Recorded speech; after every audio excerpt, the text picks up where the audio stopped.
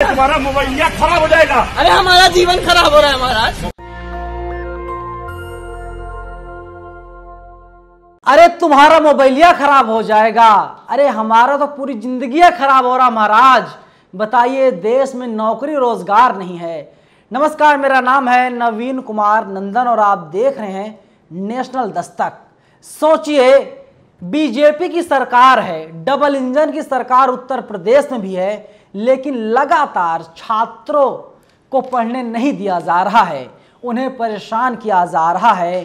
Fees की बढ़ोतरी लगातार की जा रही है। और जब छात्र बनारस हिंदू विश्वविद्यालय के छात्र पुतला फूकने के लिए शिक्षा मंत्री निकलते हैं, इसके बाद में जो सिक्योरिटी गार्ड है, रोकने की कोशिश करते हैं।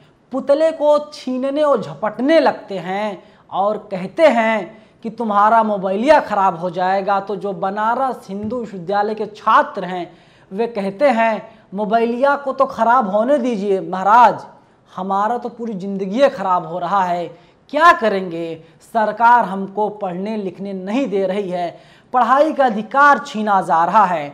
सोचिए, जो इलाहाबाद विश्वविद्यालय या बनारस हिंदू विश्वविद्यालय में पढ़ रहा है तो क्या वो अमीर बाप का बेटा है?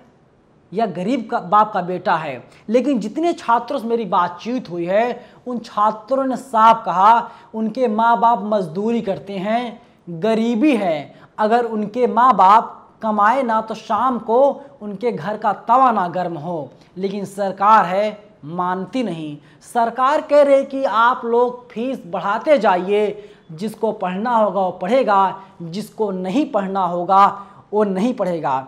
लेकिन मेरा सीधा सवाल सरकार से है, उत्तर प्रदेश की सरकार से है, शिक्षा मंत्री से है, क्या आप लोग ये बता पाएँगे? छात्रों की फ़ीस बढ़ाई जा रही है, कोई बात नहीं। जो लोग कांवड़ यात्रा पर निकलते हैं, उन लोगों पर फूलों की बरसात की जाती है। इसका पैसा कहाँ से आता है? आप कह देते हैं कि हमारे पास खजाना नहीं है, हम छा, हमारी मजबूरी है, हम छात्रों की फ़ीस को बढ़ाएँगे, किसी भी सूरत में बढ़ाएँगे, लेकिन सवाल फिर वही पैदा होता है जब वही छात्र कांवड़ यात्रा पर निकलता है, कांवड़िया बनता है, उसके ऊपर फूलों की बरसात की जाती है तो आपके पास पैसा कहाँ से आता है? वैसे मैं आपको बता दूँ जानकारी के लिए। खैर, आप लोग तो हो सकता है जानते भी हों, अगर ना जानते हों तो भी जान लीजिए। सरकार नहीं चाहती आप लोग पढ़ाई लिखाई करें। सरकार चाहती है आप मंदिर जाइए, वहाँ पर घंटा बजाइए। लेकिन अगर आप लोग पढ़ाई लिखाई कर लेंगे, आप लोग सरकार से नौकरी मांगेंगे, जब आप लोग सरकार से नौकरी मांगेंगे तो क्या होगा? सड़क पर आएँगे, आंदोलन करेंगे, विरोध प्रदर्शन करेंगे, आप लोग जागरूक होंगे। खुद जागरूक होने के साथ ही आप अपने परिवार वालों को भी जागरूक करेंगे, लेकिन जागरूकता तभी आएगी जब आप लोग पढ़ाई लिखाई कर लेंगे। इसीलिए सरकार चाह रही है आप लोगों को पूरी तरीके से अनपढ़ कर दिया जाए। बाबा साहब डॉक्टर भीम अंबेडकर का एक कोट है। उन्होंने कहा था शिक्षा उस शेरनी के दूध के समान है जो पिएगा वही गुर्राएगा वही दहाड़ेगा। लेकिन यहाँ पर आपको शिक्षा से वंचित किया जा रहा है। सोचिए 400 फ़ीसदी फ़ीस की बढ़ोतरी की गई है। अगर आपके माता पिता आपके अभिभावक अगर रोज़ 300, 400, 500, 600 रुपये कमा रहे हैं वे किसी तरीके से परिवार का खर्चा चला रहे हैं। परिवार का किसी तरीके से गुजर बसर हो रहा है। लेकिन जब फ़ीस की बढ़ोतरी कर दी जाएगी, फ़ीस बढ़ा दी जाएगी, आप लोग कहाँ से पैसा लाएँगे? आप लोग फावड़ा चला नहीं सकते, आप चौराहे पर खड़े हो नहीं सकते, क्योंकि आप लोग पढ़ाई कर रहे हैं। और अगर आपके पिताजी उसमें से काट करके पैसे आपको भेजते हैं तो घर खर्च नहीं चल पाएगा। तमाम दिक्कतें आ जाएँगी और सरकार ये चाहती है, आप लोग अनपढ़, बेरोज़गार, जाहिल, गंवार बने रहिए और सरकार आपको हिंदू और मुसलमान पर लड़वाती रहेगी। सोचिए, ये जो गार्ड रोक रहा है, जब आप इनसे पूछेंगे ना साहब, इनका जवाब आएगा, हमारे पास पैसे नहीं थे, हमें पढ़ने नहीं दिया गया, इसी की वजह से आज हम दस हज़ार, बारह हज़ार रुपये की नौकरी कर रहे हैं और जब आप तहकीकात करेंगे तो पता चलेगा टूटे फूटे घर में लोग रह रहे हैं, छप्पर में लोग रहने के लिए मजबूर हैं, क्योंकि इन लोगों कमाई नहीं है। लेकिन जो विश्वविद्यालय का वाइस चांसलर होगा, क्या वो छप्पर में रहता है? बिल्कुल नहीं रहता। वो महल में रहता है। क्यों? क्योंकि पढ़ लिख करके वो आगे बढ़ चुका है और अपने बच्चों को भारत नहीं, बल्कि विदेश में पढ़ा रहा होगा। और वही सरकार, वही वाइस चांसलर ये नहीं चाहते आप लोग पढ़ लिख सकें। वे चाहते हैं आप लोग अनपढ़ बने रहिए। कल जब छात्रों से मेरी बात हो रही थी, उन छात्रों ने कहा था कि हम लोग परेशान हैं, समझ नहीं आ रहा है, क्या करें? अगर हम लोगों को आगे बढ़ना है, हमारे पास एकमात्र रास्ता है पढ़ाई। अगर हम लोगों को एजुकेशन नहीं मिलेगा तो हम लोग पूरी ज़िंदगी में कुछ भी नहीं कर सकते हैं। देखिए अभिनव पांडे है, इन्होंने ट्वीट किया है, इन्होंने लिखा है, इलाहाबाद सेंट्रल यूनिवर्सिटी में फ़ीस चार गुना बढ़ी है, आंदोलनरत छात्रों की मांग है फ़ीस बढ़ोतरी वापस हो।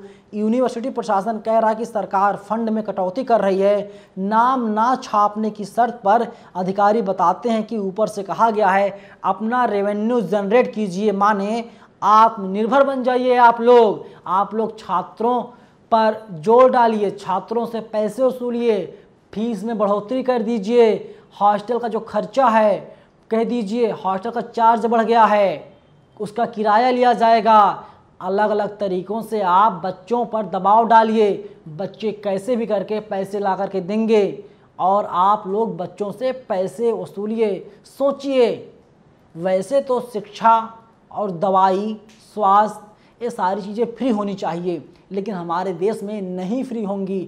अगर जब चीज़ें फ्री हो जाएँगी, आप लोग जागरूक हो जाएँगे और सरकार हिंदू मुसलमान करवा करके जो शासन कर रही है तो ये लोग सत्ता से बाहर हो जाएँगे। वहीं वरुण गांधी हैं, ये सांसद हैं। ये लिखते हैं, इलाहाबाद विश्वविद्यालय की फ़ीस में सीधा 400 फ़ीसदी वृद्धि का फैसला दुखद है।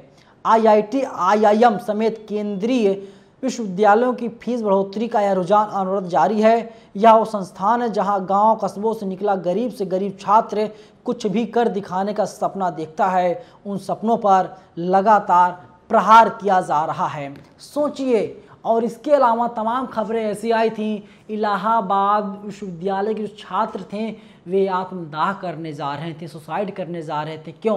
क्योंकि कह रहे थे कि उनके माता पिता मजदूर हैं।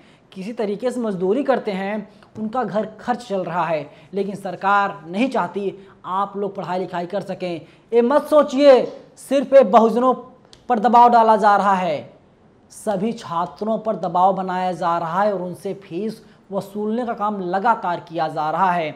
ए बी वी पी हो एस एफ़ आई हो, और इसके अलावा एन एस यू आई हो, या तमाम जितने संगठन हैं, सारे संगठन के छात्र ग्राउंड ज़ीरो पर मौजूद हैं। वे लोग सड़कों पर आ चुके हैं और लगातार यूनिवर्सिटी खिलाफ आंदोलन कर रहे हैं। सरकार खिलाफ जमकर नारेबाजी कर रहे हैं। जो शिक्षा मंत्री हैं, उनका पुतला लगातार वे लोग दहन करने का काम कर रहे हैं। लेकिन सरकार को बिल्कुल सुनाई नहीं दे रहा है। क्योंकि वैसे भी जानकारी के लिए बता दूँ, अब उत्तर प्रदेश में 2027 में विधानसभा का चुनाव होगा। 2024 में लोकसभा का चुनाव होना है, हो सकता है तब तक कोई प्लान बनाया जा रहा हो? आपको किस तरीके से हिंदू और मुसलमान के मुद्दों में उलझाना है? लेकिन जो वीडियोस सामने आ रहे हैं, उस वो वीडियोज़ साफ़ बता रहे हैं जो वीडियो सामने आ रहे हैं एक बार आप फिर से वीडियो को देखिए। देश के आदिवासी समाज के पास उसके पास पैसा नहीं है उसके शिक्षा के लिए खड़ा होना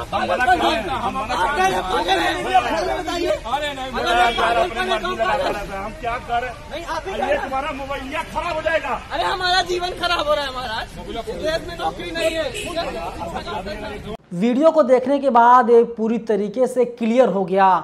कि अब सिक्योरिटी गार्डों को जिम्मा दे दिया गया है किसी भी तरीके से पुतला दहन ना होने पाए। और अगर पुतला दहन होगा, सिक्योरिटी गार्डों के ऊपर कार्रवाई की जाएगी। लेकिन छात्र कह रहे हैं कि वे लोग लगातार आंदोलन करते रहेंगे। उन लोगों जो मांगे हैं, फ़ीस बढ़ोतरी वापस ली जाए। और जब तक फ़ीस बढ़ोतरी वापस नहीं ली जाती, तब तक वे लोग आंदोलन करते रहेंगे। उसका खामियाजा कुछ भी छात्रों को उठाना पड़ जाए तो सोचिए डिसाइड आपको करना है। लेकिन जिस तरीके से फ़ीस की बढ़ोतरी की जा रही है, वो भी एक दो फ़ीसदी नहीं, पूरे चार सौ फ़ीसदी। इस पर आपकी क्या राय है? आपकी क्या प्रतिक्रिया है? नेशनल दस्तक छात्रों के साथ खड़ा है। जो भी छात्र मुसीबत में हैं, जिन छात्रों पर ये पहाड़ टूट पड़ा है कहे टूटा है। फ़िलहाल इस वीडियो में इतना ही, लेकिन पूरी वीडियो को लेकर के आपकी क्या प्रतिक्रिया है, क्या सोचते हैं क्या आप भी इस फ़ीस वृद्धि से ग्रसित हैं? कमेंट बॉक्स आपके लिए खुला हुआ है। अपनी राय आप लोग हमें ज़रूर दीजिएगा। शुक्रिया। नेशनल दस्तक की आपसे गुजारिश है कि अगर इसको बचाना चाहते हैं तो नेशनल दस्तक को सब्सक्राइब करने के लिए रेड कलर के सब्सक्राइब बटन को दबाएँ, फिर बेल आइकन की घंटी दबाएँ। नेशनल दस्तक को बचाने के लिए बहुत ज़रूरी है कि हर खबर को शेयर करें, लाइक करें, कमेंट ज़रूर करें।